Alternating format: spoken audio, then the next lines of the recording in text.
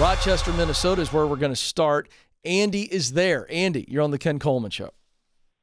Hey, Ken. Thanks for having me on the show today. You How are you doing? I am living the dream, man. What's going on?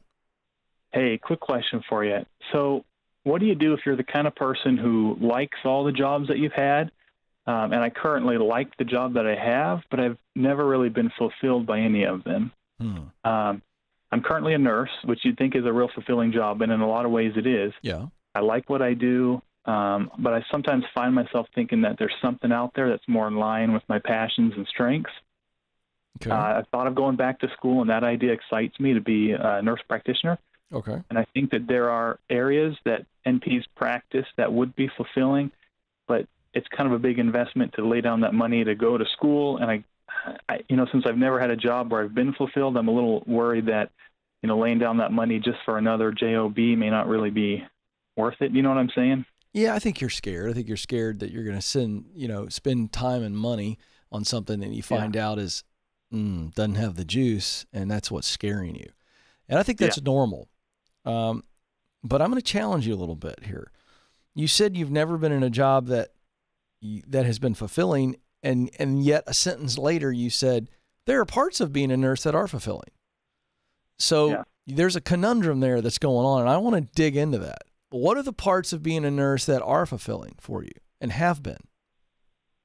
You know, I really like just the real human to human interaction where you really get down on somebody's level um, and really kind of understand where they're coming from. Uh, I also really have a passion for kind of that end of life kind of care. Mm-hmm. So when you have been a nurse for a patient that is uh, obviously in their last days, Yeah. that's way more fulfilling for you. And what parts of, of the interaction are fulfilling? Be more specific. I understand what you say when you really enjoy the human to human interaction. So it's less about the medicine and more about the, the the conversation and the moments that you have with them. Is that what it is? Yes, exactly. Okay. Uh, anything else that's on the list of this is very fulfilling for me as a nurse? Um, the education part of nursing, when you're teaching a, a concept and then you see the light bulb click, I think that's a really fulfilling part of my job too. Where what? Tell me how that. Uh, what what does that look like? Is that just where you've got young nurses or, or new nurses rather that are that are coming on board and because you have your superior. I mean, not superior. Good grief. Your um, what is the Yeah. word I'm looking for? I, I just blanked out. But because you're higher up the food chart, you got more experience than you're training them. Is that what we're talking about? Well, more like like educating the patient. You know, like this is what heart disease looks Oh, like. educating the patient. Yeah, yeah. I sorry. get. I get it. Um, okay, so here's the deal. Were you confused? Were you contradicting yourself? Or are you just not looking at this thing properly? That there are parts of nursing that you have been very fulfilled in. It's just not uh, a high percentage all day, every day over the body of your career, correct? Yeah, that's that's correct. Yeah. That's the issue. So, if you're going to be a nurse practitioner, the question becomes does it allow you to do more of what we just talked about instructing and guiding and educating the patient and more human to human interaction? Does it allow you to do more of that? Uh, let's just say you're doing it 95% of the time or 90% of the time. Does it allow you to do that? I think it probably 60% of the time. What's the other 40 involved with? I think there's a lot of uh, red tape, paperwork kind of stuff that that gets involved there too, and that's kind of you know uh, Mm-hmm. Okay, let's go back real quick just for some side by side comparison. When you, as a nurse, if you look at your the body of your career, you look back on it. yeah. What's the percentage of your time that you've spent doing those two things that you love, the human to human interaction and the guiding and teaching the patient? That's a good question. Yeah, I know- Um, I know. You're good at this. I would say uh, probably similar, probably 60, 65 percent, somewhere in somewhere in there. So I'm asking a legit question here. I'm not being coy and I'm not trying to be cute. Yeah, That feels like you've been pretty fulfilled. yeah. Am I right or am I wrong? I mean, I'm I'm truly asking here, based on what you've told me. What what's missing?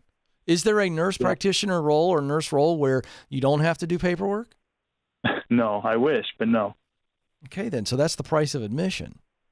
Yeah, You do know that I have to do some things that I'm not crazy about in order to get to be on the air for several hours a day. You do oh, get Oh, that? Yeah, absolutely. yeah. Okay. So I'm again, feels like to me that being a nurse practitioner is going to allow you to do more.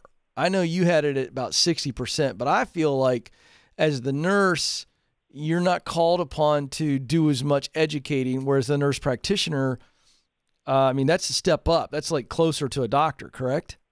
Yeah, that's true.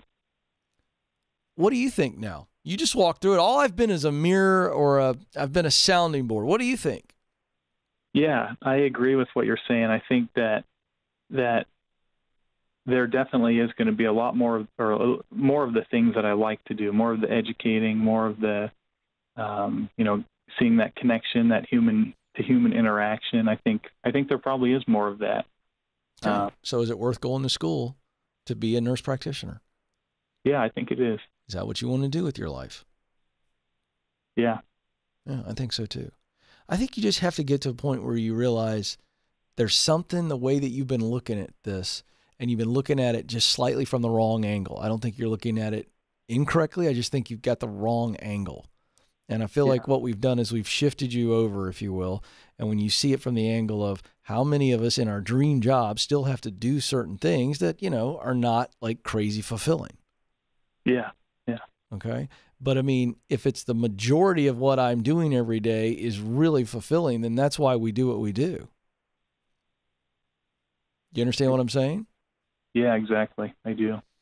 You know, I mean, just let me just be very candid. I love, uh, I love being an author, but the process of writing for me is not my favorite thing to do. Not even close. It's hard work and it doesn't come as easy to me as it does if I'm on the air or on a mic and things of that nature. You know, there's research. I'm not a big fan of research. I have to do a lot of research. I don't enjoy it, but it's necessary. Do you do you track with me here? Yeah. Yes, yeah. So don't overthink it, man. You are in your happy place when you're in front of a patient, interacting and educating them on their health. Am I right or am I wrong? No, totally right. All right, then. So stop overthinking it and go do it. You're a good man, Andy.